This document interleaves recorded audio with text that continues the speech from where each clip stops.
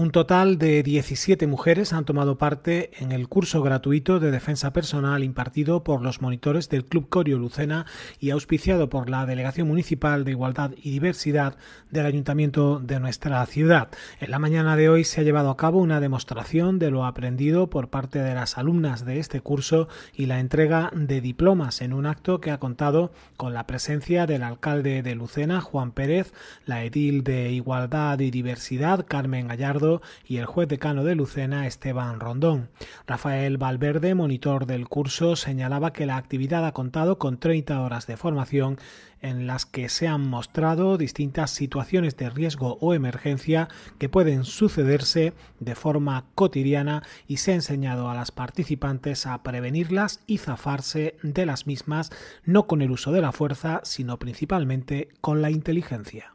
Lo que le hemos enseñado es, cómo zafarse de una situación emergente. O sea, en situaciones donde pueda ser no por fuerza, sino a lo mejor por inteligencia. Le hemos enseñado uno como, con objetos, por ejemplo, cómo con una revista se pueden defender, o cómo, por ejemplo, con las llaves, o sea, objetos que tú puedas llevar encima normalmente.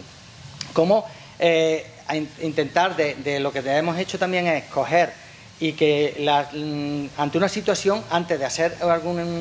una situación emergente, lo, que buscamos es, eh, ¿cómo es la palabra correcta? Eh, anticiparse a la situación. O sea, en cómo buscar y ser previsora, es lo que le hemos enseñado. Y cuando ya se han visto que no hay más remedio, pues cómo hacerle estas técnicas, que ahora después ellas van a ser unas técnicas, cada una ha cogido la técnica de todas las que hemos hecho, porque hemos trabajado el cubo tan, la revista, hemos trabajado agarre de cuello, agarre de pelo, eh, cuando están tiradas en el suelo, cómo poder levantarse, o sea, de todas las situaciones. Ellas nos iban exponiendo, si te hacen esto, si te hacen lo otro, cómo se zafan de un cuchillo, todas esas cosas, hemos intentado que lo aprendan. Lo mejor es, como yo siempre digo, que se aprenda y nunca sirva. Por su parte, Pilar Rodríguez, alumna, destacaba que este curso transmite mucha seguridad y hace perder el miedo ante una situación de riesgo. Que quede claro y quiero dirigirme a todas las mujeres de que este curso transmite muchísima seguridad, que es un curso que, que te hace perder el miedo, porque tú ya sabes que tienes capacidad de reacción ante situaciones de riesgo, cuando antes a lo mejor te podías haber quedado bloqueada y no sabes ni siquiera defenderte ante, ante la situación más fácil. No es que nos haya dado tiempo a aprender muchas cosas, pero yo creo que sí hemos aprendido algo más de lo que sabíamos al principio. Y quería decir también que lo veo muy útil no solamente en el ámbito de la violencia de género, sino ante cualquier agresión en la calle. Con lo cual animo a todo el que nos esté viendo a que participe y lo haga. Para el juez decano de Lucena, Esteban Rondón, actividades como esta sirven para repeler cualquier tipo de ataque y son muy necesarias para prevenir la lacra de la violencia de género.